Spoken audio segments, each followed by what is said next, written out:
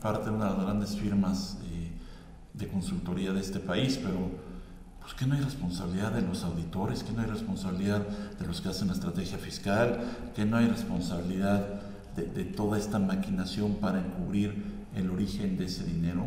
De los notarios, ¿eh?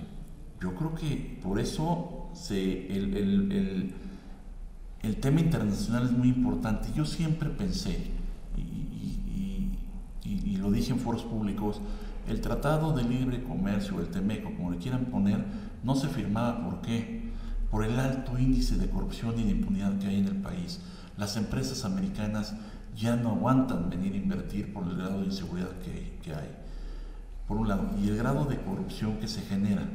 Entonces, yo no digo que se va a acabar con la corrupción en todos los países, ni se va a acabar con la delincuencia. Rojo, se tiene que controlar y se tiene que castigar. Y aquí ni controlamos ni castigamos.